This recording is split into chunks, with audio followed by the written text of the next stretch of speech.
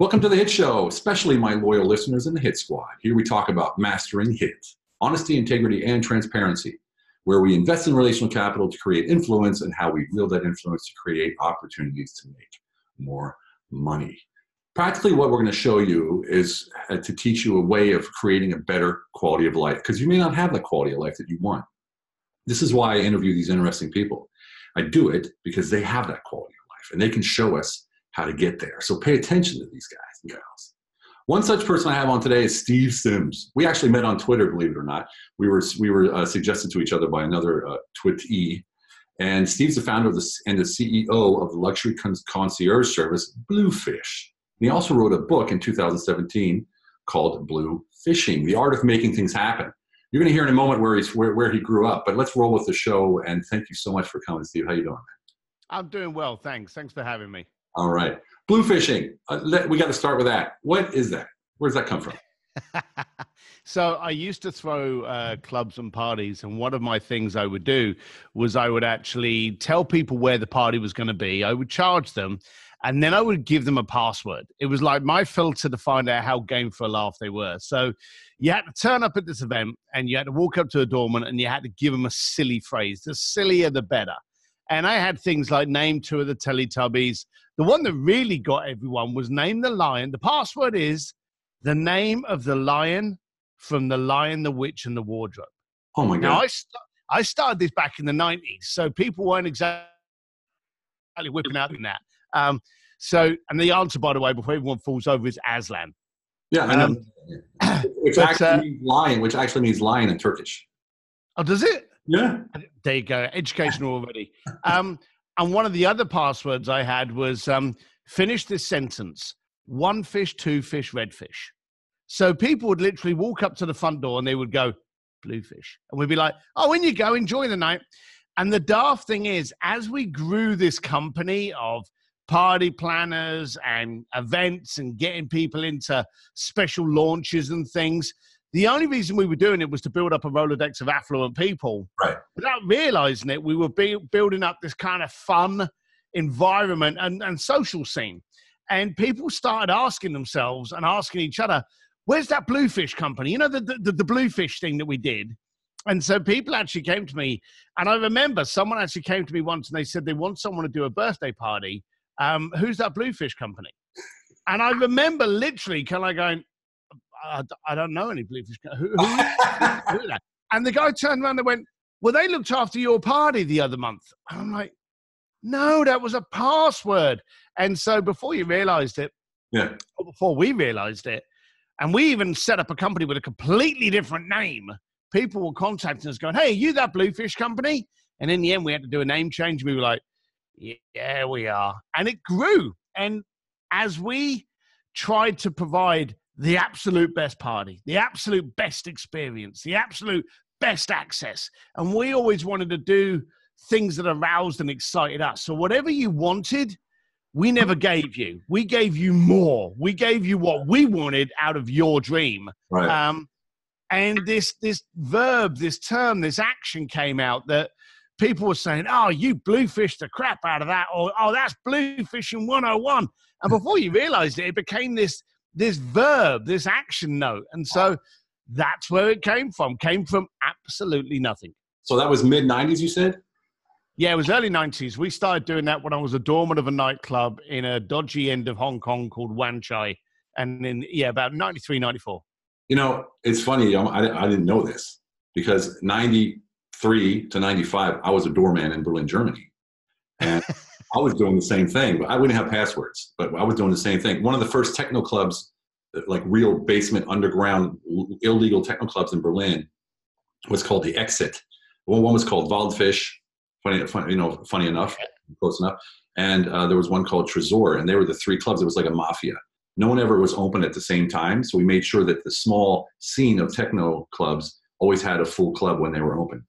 It was, right. So that's how we did it. So yeah, that's funny. Kind of the same things yeah, I, I also went on to open clubs and cocktail bars and things best education Deal, dealing with people like that you know huh? people talk about communication and relationship skills and i don't want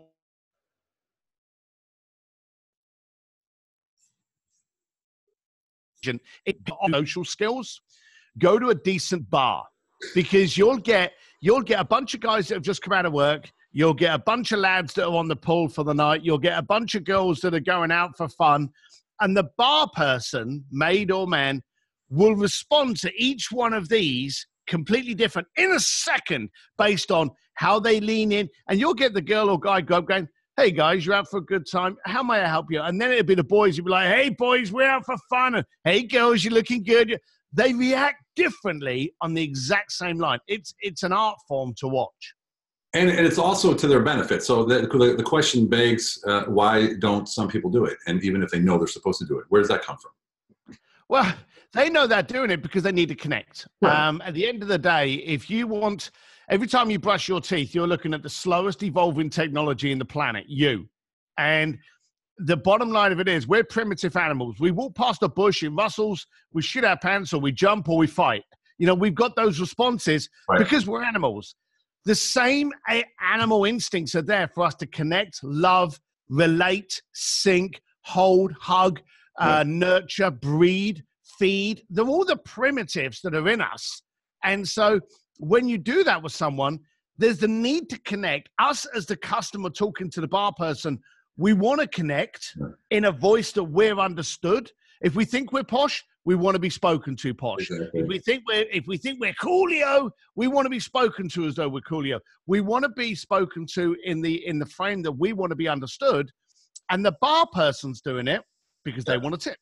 And you go back to those places, don't you? Like you go back where you're treated great. You go back where people know you walk in, hey Steve, hey, how you doing? You know, it's like you feel good, and you bring people with you because you're the man, you're the girl, you're the one, whatever. That when you walk in this club, absolutely, we want to go back to our comfort areas. Yeah, exactly, exactly. So when did you leave London?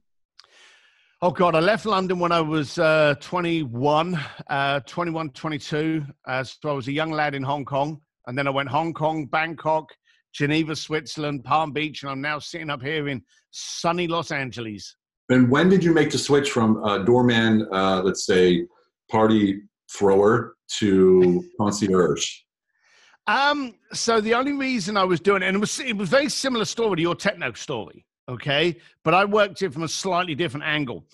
I was poor and I was a doorman, and my five friends were also poor. So I needed to find rich friends. So I did, I wanted to get these rich people to talk to me. The only way to do it was to be of value to them.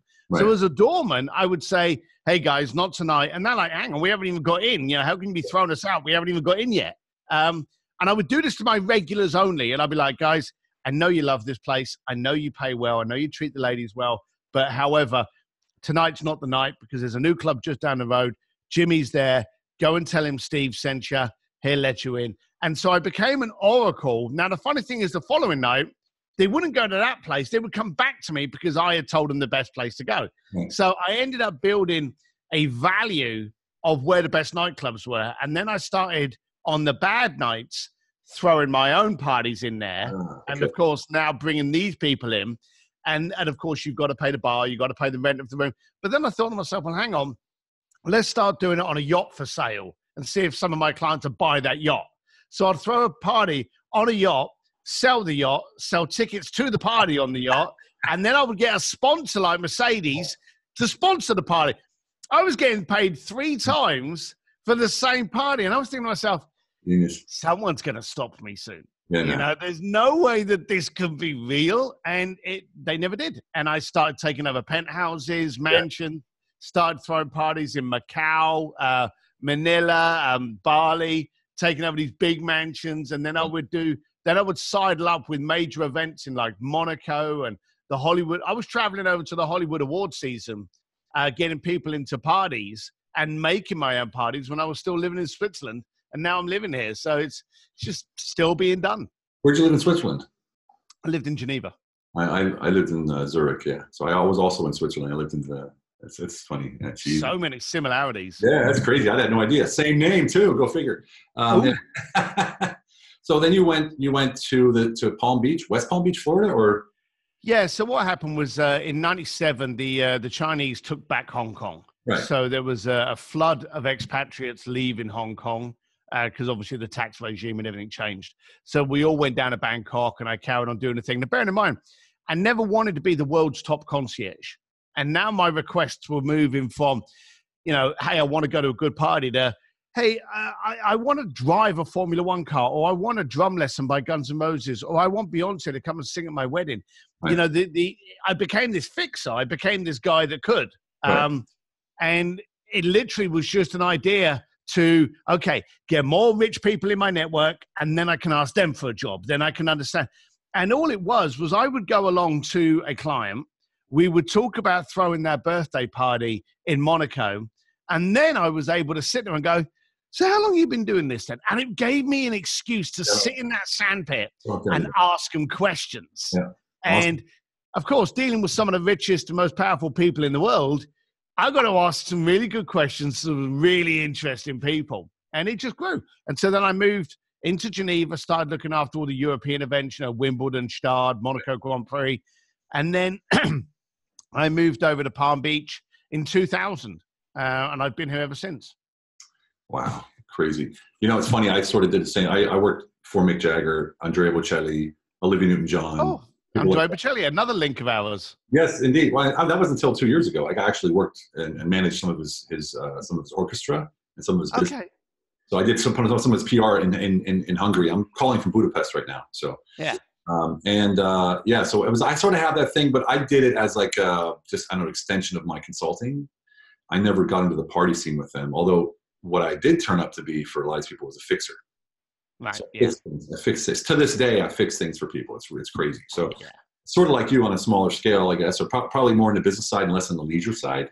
Um, and that's what I, that's what I want to I want to get to. I mean, how do you just pick up the phone and call? Okay, you've been at it for a while, obviously, but I saw mm-hmm. your last gig was in LA or something with Elton John. Is that correct? Yeah, we've been working with Elton John for about five years now for his Oscar party, and uh, we partnered with that, and uh, it's a great cause. It's a great event, and uh, we help market, promote, and get the right people into the event. Okay. And who calls you? Like who shows up at your door and who calls you? Who reaches out and says, "Hey, I need some help"? Oh, Struth. Well, a lot of people think I deal with the rich and famous. I don't. I deal with the richer and unknown. So I deal with people that own things like, yeah, I deal with people that own things like countries and banks and major brands. Um, and they contact me. And there's two things. It's funny. The richer and more powerful you are, the less you ever want to hear the word no. Yeah. Because you could pick up the phone and you could go, Hey, I own England. I need to get into this event. And the person on the other end of the phone may take glory in refusing you. Right. And then that will be spread around and go, oh, no, we're very exclusive. We even turned down the King of England. You don't want that. So yeah. they come to me and they go, Hey, Steve, I need two tickets into this. I need you to build this. I need you to get me access to this. I need you to get me to the front of the line of this. And I go and make it happen without ever revealing the client's name. Nice. And so nice. if if for any reason um, it doesn't come off, they're protected and I'm okay because I can now go a different route. I'm a great believer that if I get a no, I'm asking the wrong question or the wrong person. Yeah. yeah. And there's always another why person. give up? Why give up? There's always a way. There's no. You mentioned Bocelli. Um, I had a client that wanted to have an exclusive restaurant. Uh, this was the only thing he asked me. I want an exclusive restaurant this Wednesday night. It was Sunday. I was in Rome. This Wednesday night in Florence. Um, I told you earlier, we don't want to do anything that doesn't excite us. We we do stuff that excites us that you right. just happen to go on. So what we ended up doing was taking over the Accademia Museum, setting up a table of six at the feet of Michelangelo's David, and then during that food had Andrea Bocelli come in and serenade them. And that was the level that we actually go to because we want to do what excites us. And I know I know what he takes too. So yeah, wow. Yeah, yeah, yeah. yeah. So it was uh, it was it was pretty cool. So it's a lot of making sure you've got credibility. Right. It's a lot of establishing the value in the relationship, um, and it's a lot just down to the barman again, uh, or the bar person, should we say? It's about establishing a clear, defined value to keep me in the conversation with you. Okay, so that's easy for you know the wealthy who own England, right? So what about what about John down the street who wants to do something for his wife, and he reaches out to you? Do you work according to percentages of what they what they spend, or do you have a flat rate, or how's that work? Just I'm just curious. No, absolutely. There's no question I won't answer. Um, so I have to be honest with you, John down the road, we're not dealing with. Um, see, for a start, my website doesn't even have a phone number. So there's a lot of companies out there and go, oh, we're referral based. You know, please go here and apply for the. You know, no, we don't have a way of contacting us. So everyone that comes to us, it's a case of, oh, Steve told me about your services, and then we'll go, okay, let's let's schedule a time for us to interview, and right. we will interview every person. Then the next thing is we charge them five thousand dollars, and that five thousand dollars gets to my phone number, okay? okay, and I will talk to them, okay. And then the next step is okay, now we need a retainer. And so then there will be a retainer that they have to drop into the account of like, you know, 150 grand. Yeah. And then it's a case of okay, now what do you want to do with your life? How do you want to get more? Now, some people may go, like authors, we deal with a lot of very high end authors and entrepreneurs that have a mad travel plan. Yeah. And they may turn up in Miami and then all of a sudden they've got a speaking gig in New York. And while they're there, they need to make sure they're in the restaurant that no one can get a reservation. You know, we do that kind of stuff and we can eat into the retainer they've got. Right. And then we've got other clients that say, hey, once a year, I want to go to Monaco Grand Prix like I own it. Yeah. Um, and so, you know, we won't start working with them until about January when we start planning it. So the idea of Johnny down the road reaching out to us and going, ah, yeah. I don't have a lot of money. Yeah. Arrogantly, but respectfully, we don't work at that I get level. It, I get it. I get it. I, yeah. I think I, I wanted to know that differentiation. I want to, I want to remind everybody you're watching The Hit Show uh, with Stephen Kuhn, and we're talking to the one and only Steve Sims about his blue fishing. So when you when you brought the book out, you uh, you t- t- teaching people how to do it now, or what, what's what's the book about? Uh, it went it went it went kind of crazy. So since about 2006, prior to 2006, there's a ton of media on the company and on me right. uh, because I was well known as always being in the place, always being in the background of every picture of every high, you know, right. affluent person. So I was a curiosity factor. Um, and I did a lot of speeches around the planet on the state of luxury, how to communicate with your client, how to get them to pay in advance. That was my field. Um, and then past the recession in about 2007, I started doing a lot more entrepreneurial events where they were going, how do you, as let's be blunt, an ugly British b- bouncer, get to do this with the Pope and Andrea Bocelli? Yeah. Um, and so then it became more of a case of look, if a bricklayer, which is still the only thing I'm qualified to do, from East London can be doing this, you're already out of excuses, but your head's either up your ass or you're, you're, you're holding yourself back. Holy shit, we and, talk the same freaking language. I, like I'm sitting in Budapest, Hungary, right? And I'm listed as the number two military entrepreneur influencer in America. I don't even live there. I'm, I'm flown over to the state. I'm, I'm flown over to the state, and I did it in three months. Like I went online last October, and three months later, I was the number two influencer. And then I get booked um, in the States to open up military veteran events as, a, as the keynote speaker, like Jocko Willink. Yeah, yeah, I yeah, yeah. Up, I opened up and then he spoke, and I'm like, okay, I'm living in some 2,000 person town. You know, it's like, how, you know I mean? so there's, there's, there's, a way, and this is where the attitude comes in that, that you're talking about. Just, yeah, it just, just fucking do it. It was, it, it was weird. And I got asked, I got asked to do the book actually about five years ago and the book was asked. The, the premise of the book was, hey, can you can you do a tell-all? Can you reveal all the things you do for the affluent clients you do it for? And and it was like, no, I'd be dead by cocktail hour. And then then they asked me after I did a speech, and I don't know who got hold of it, but someone within the uh, the publishing house saw it, and they went, "Hey, instead of you doing the book on what you do, why don't you do the book on how you do it?" So up oh. until 2000, up until October the 17th, 2017, about 200 people in the planet knew who I was, including my mum and dad. And that was fine by me. I was the unknown guy. And then all of a sudden, I'm getting flown around like you, paid to do speeches. I'm now consulting with uh, entrepreneurs on how they can do it and hopefully exposing the fact that you don't need all of the other things that you think you need. You don't need a $60,000 CRM program nope. if you haven't got a freaking client. Nope. You don't need any nope. of these things.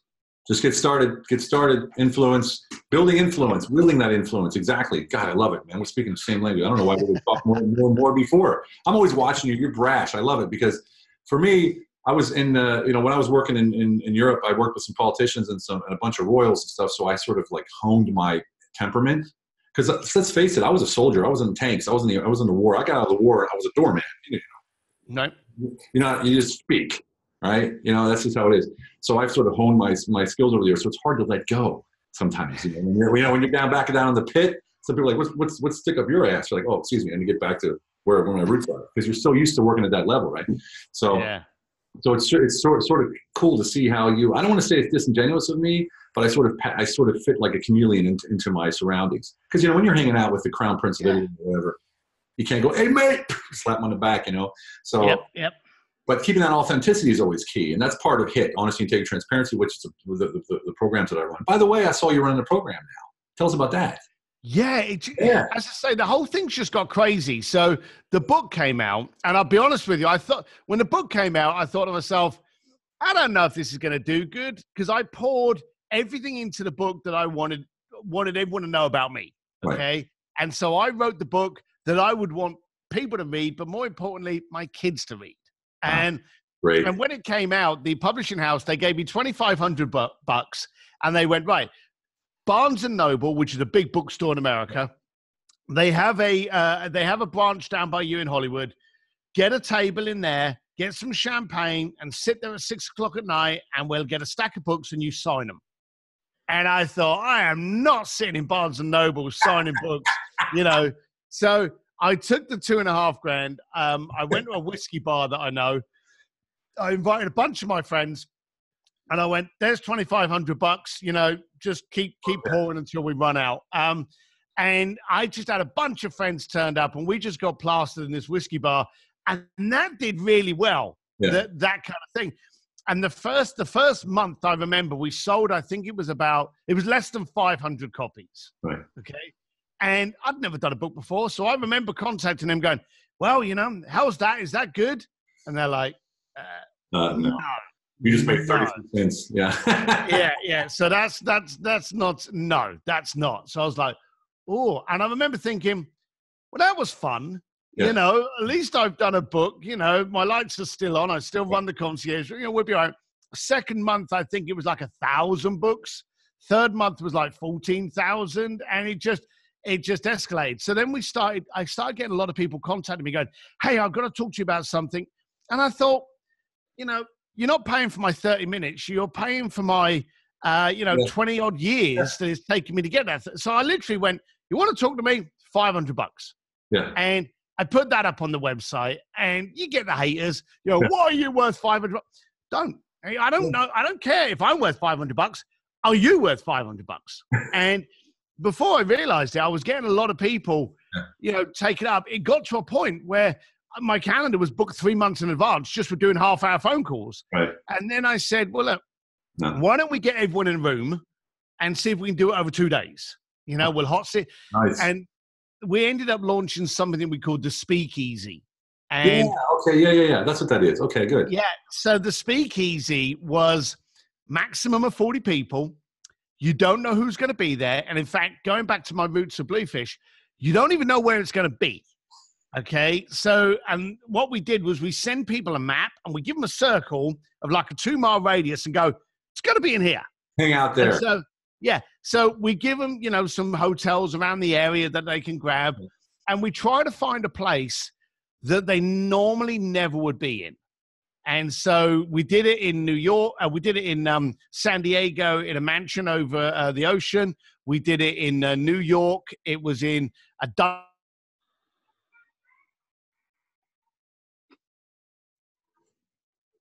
and it in a New York loft that had been the oldest brothel in New York, the last closed brothel of New York. Um, so we want to put you in a room that you normally would not be in with people that you should mingle with. But then here's the key. Here's the key. And you're a speaker, so you know what this is like. We go along to events, and the events are quite often sold on the fact of who the speakers are. Right. So people come along to see a couple of speakers and then they stay for the other few. Right. Okay. Maybe. Yeah. Maybe. Not every speaker will resonate, will relate, have anything of any interest right. to tell right. Okay. So I thought I don't want to do an event based on who's coming. I want to do an event on what's the problem. Yes. So people buy the tickets, and then I say to them, okay, You bought the ticket, Steve. That's fantastic. Why'd you do that? What's your problem? Right. And they ah. go, well, you know, I want to be more speak. I want to do more speaking gigs. I want to write a book. I, I'm having trouble because the amount of work I do. Um, I'm getting over uh, overstressed. Um, I'm I forget things. I want to do more viral videos. I want to do a podcast. And then I go, great. And having a pretty good Rolodex like I do, Right. I then go into it and I get those people in the room to yeah. solve the problems. You- oh. And you you had and again 40 people, that's a Yeah. small room. Yeah. massively small. Yeah, yeah. And you can actually point out, you can go, hey Steve, You said I've got Roger here, and your problem was so and so. Why don't you ask the leading? Like I had a guy that wanted to. Um, uh, a lot of the questions I got for New York were around doing videos. right. Okay, so I had, uh, and they said, you know, I I could do a video. I've got this. So we had one guy go through the basic stuff you needed. You know, the difference between a dynamic mic. Um, and uh, what the uh, difference between a 1080 or 4K, showing different uh, GoPro, Mevo. So they went through the basic stuff you need. Right. Okay. And then what I did was I had the guy that does all of Victoria's Secrets and Ralph Lauren's adverts sit in the room and tell you about how to sell a story in video. Nice. And so you've got the guy that's done every single Victoria's Secrets campaign and every single Ralph Lauren campaign answering you how to put a video on YouTube. That reminds So- me of the retreats of uh, like baby bathwater. I'm sure you know baby bathwater. Yeah, I know baby Bathwater, and that's a that's exact same kind of thing. Yeah. Um, Actually, and that's, uh, that's the good lads. So, oh, was that the member nine? So did you Yeah. go down to Croatia yes, last year? yes. Yeah, I was supposed to speak at that event, but I couldn't make it. And I have to be honest with you, I didn't want to live in a tent. It's actually that's what I thought, but it's literally it's literally like a cabin. Are you there? You're frozen a little bit. One second. You'll be coming back in a second. One second. You'll be coming back. It's you there, Steve? Uh oh. Am I back? Yeah, now you're back. Am I So back? no, actually, I said the same thing. Hello? Am I go- All right, Yes. Here. They're back. So actually, I said the same thing, but it's not. It's literally four. Like it's it's got a full porcelain bathroom, a shower. It's not a tent. It just has a canvas roof to make it look like a tent. Ah, Yeah. I didn't know that. I Yeah. didn't know that. So yeah, I bailed on it. But uh, yeah, baby bathwater. I can only, you know, you got mastermind talks with Jayson Gaignard. You got Joe Polish Genius Network. Uh, you got Mind Speakeasy, Baby Bathwater. There's a lot of great events out there that um, promote how to solve your problem over, hey, turn up, you'll see this guy. And I Yes. like that attitude. And that's what I did. And again, same thing. I didn't know if anyone would want to go. Right. So I, I, I put the speakeasy together. You don't know who's going to be there. You don't know where it is, but I'm going to solve your problem. Right. And uh, as I say, it's uh, we're on our fourth one in Los Angeles on the 21st. Well, in February. Right. Um, no, I'm not going to pitch it. Um, and uh, we got a bunch of people turning up, and then afterwards we're all going to go to Elton John's Oscar party. So Yeah, that's awesome, man. Oh, congratulations. That's that's. I mean, I, I don't think anybody can really compete with that. Like, well, I think. speakeasy and go meet Elton John. That's sort of cool. Yeah. Um, the thing is, and I don't want to take it, uh, I won't take it arrogantly, but the bottom line of it is no, no one will ever be able to compete against it because, quite simply, of everyone that you've just spoken about, they're all great at being themselves. Yeah. And I'm absolutely exceptional at being myself. So there's not going to be another Steve Sims speakeasy. There may be another person do one, Yeah, and now I wish you all the best. And I want you to do what works for you oh. when you're all in as you. Okay, so let's talk about being all in as you, because that's what we talk about authenticity all the time. Authenticity, standing there, full and total you, no expectations, no nothing, just be you. So let's drop some, you know, some bombs now. What do you got for people out there that are sta- standing before their hurdles, and entrepreneurs specifically, because that's that's my audience, Yep. owner, owner operators. So, what are some things that entrepreneurs can do to get, you know, get their shit in gear, get moving, get get rolling? You know, everyone tries to be perfect. You already mentioned that one, right? Just go, drop the CRM, just get make some money, get rolling, and then we can start talking about CRMs, right? Yeah. What yeah, else yeah. can, can can can you say in that area? So I didn't realize I was doing it until Ari Meisel told me I'd been doing it all my life. I'm a great believer in get going, then get good. Yeah. Um, there's a lot of people that say, "Hey, I'm I'm doing this business," and then they will search perf- for perfection before they release it. And the bottom line of it is, perfection is a, is a blue unicorn with three testicles. It doesn't exist. Okay, so I want you to just sit there and go, "All right, I'm going to launch this product." I've got no CRM. I've got no backend. I've just got an email and I've got a link if you want to buy the freaking thing. Yeah. And if I sell one, great. If the following week I sell three, great. That's called a curve. You know, Yeah. keep going on that. And if you keep multiplying like that, then you can get a back end. You see, Right. all of that shit you can do. But Right. the bottom line of it is get out of the way of yourself. Don't chase perfection because it doesn't exist. We already know what it looks like, and it's got three testes. And just start doing it. Listen up, Hit Squad. You just heard from Steve, you know, one of those people who sort of made it. This should be inspiring to you. If it's not, then we need to talk. You know, the Hit Squad's, you know, the Hit Squad's everything to me, and I want you to be successful. So listen to Steve and heed. So, what's the best advice that you ever got? Uh, it was my dad. Um, and it was when I was a kid. Now, my dad is, uh, you know, I'm a big, thick Irish lad. Okay, never changed. Uh, my dad is a bigger, thicker Irish lad. and I remember, I remember walking down the road with him one day, and I was about 13 years old. We weren't talking. He was smoking cigarettes. We were walking on a building site towards the cabin, um, and it was cold. And I just remember, as I say, no conversation.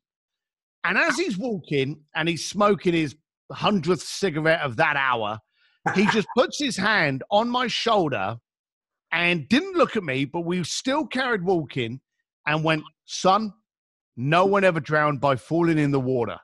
They drowned by staying there. And then he takes his hand off my shoulder and carries on walking. Now, I remember this clear as day. I remember we were walking through crunchy, damp mud.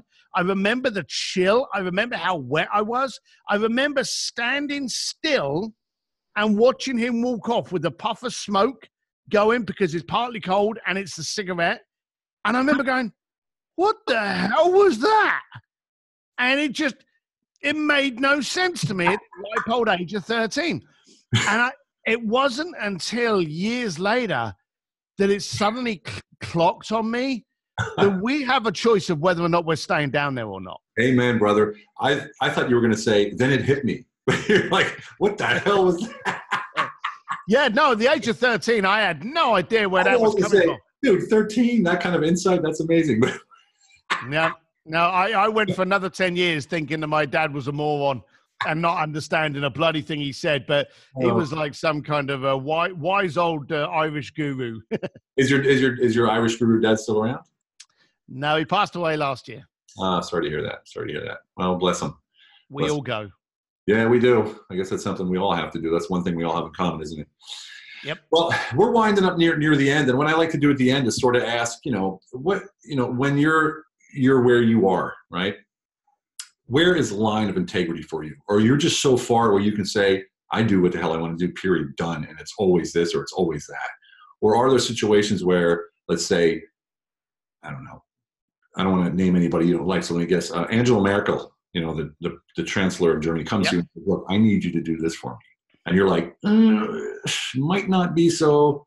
You know, how do you deal with that? How do you deal with that when you got that power on that? Yeah, no, it's very, very easy. Um, I'm a great believer that my gut is more intelligent than my head.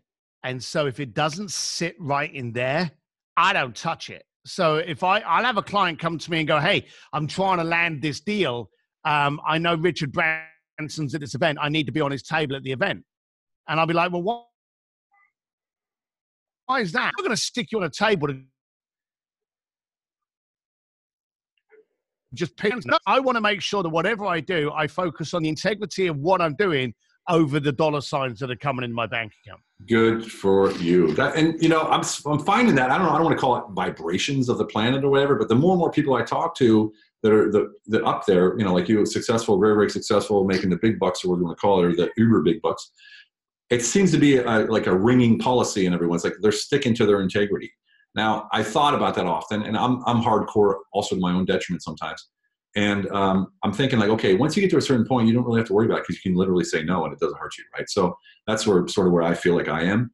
But what do you give? What kind of advice would you give somebody who's down there? It's like, look, I need to feed my family, and I got to do this, and it's probably not a good deal, like a drug deal, like you know, cross the border or whatever, like go from Holland to Berlin with some weed. There's no borders, but you could get stopped, but probably won't be. Make fifty grand. You know, what do you say to someone like that? Uh, don't do it. Let it go. See, I I have this. I had the same. I'm the same person now with my bank account as I was when I had a smaller one. If the deal works for me, I want to be able to sleep safely. I want to be able to hug my wife. Hey, if I have to get a hamburger, a 99 cent hamburger, and cut it into four pieces yeah. so we all get a piece, I'm going to do that rather than do something that may mean that tomorrow night I don't come home. Amen. Okay? Amen. You, you sell any part of your integrity, you will not get it back. Exactly. The cost is too heavy. I love it. I love it. You just said something about your wife. How important is she in the whole scheme of things for you, for business, for everything? Everything. If she no longer, if she left me now, then um, and we've been together. She was 16, I was 17. So she's my best friend. She's the most terrifying partner I know. Uh, she's the most arousing partner I know. She's beautiful. She's wonderful. She, she's everything. Bottom line is that if she goes, I've just lost the use of my arms, legs, yeah. head, mouth we are so yin yang that we operate each other seamlessly. That's beautiful. I didn't realize you were together that long. Congratulations. That's crazy. Forever, forever. She yeah. was my first girl and uh, will be my last girl. My, well, that's that's beautiful, man. Well, I, I'm I'm on my second wife, and she's uh, amazing too. So I sort of caught the curve on that one. Uh, Good. Well, look, hey, no, you got to you got to try. If it didn't work for me and Claire, then we wouldn't be together. Yeah. So Okay. Anyone that's out there on their third wife, fourth wife, fifth wife, you haven't found the right one yet. Yes, that. So mm. I'm not. Uh, I, although I do remember. Do you know the actor James Caan? Yes, of course. James Caan oh. actually. Yeah, yeah, he's brilliant. James Caan uh, did all the Godfather movies and all the mafia movies. He turned around and he said that um, marriage should be like a driving license. When you lose it four times, you shouldn't be allowed to get it back. so I, I really liked his comment on that. Well, that's that's probably specifically for the American crowd because that seems to be the most, where the most uh, you know divorces are. Anyway, we're, yeah, we're, yeah. we're at the end of our time, and you know I know you're busy, got to head head off. I really appreciate you coming on the show. Awesome talking to you, chilling out like this, and just sort of having like a garage talk, literally. So I, I, really appreciate it. Could you tell people shortly where they can find you or things you yeah. like your course, where are they going to find your course? I actually saw it today on Facebook, and I saw that your book was launched in Taiwan or China or something. Yeah, it's bestseller in bloody uh, Taiwan in Chinese. Um, so it's gone worldwide. Um, if you want to find the course, it's at Bluefish Steve. If you want to find more Sims, S I M S, stevedsims.com. If you subscribe to the newsletter, you'll actually get uh, a little PDF on the cheat sheet of the book and you'll get one of my favorite videos. So, and I'm also on Instagram at Steve D Sims. And you're you're on Twitter, which is where we met. I'm so. on Twitter. I'm on Facebook. I'm all over the place. Steve, thank you very much for coming in. Thank you so much. It's been a pleasure and an honor. Thanks, pal. All right, Hit Squad. Thank you so much. Once again, we have an amazing guest on every Tuesday. Tune in to see who's coming next. And thanks, Steve. Uh, thanks for thanks for tuning in. I'm going to be watching what's going on with you. Take care. Hit Squad. Take care. Have a fantastic day. And remember one thing. It's all about quality of life. See you next time.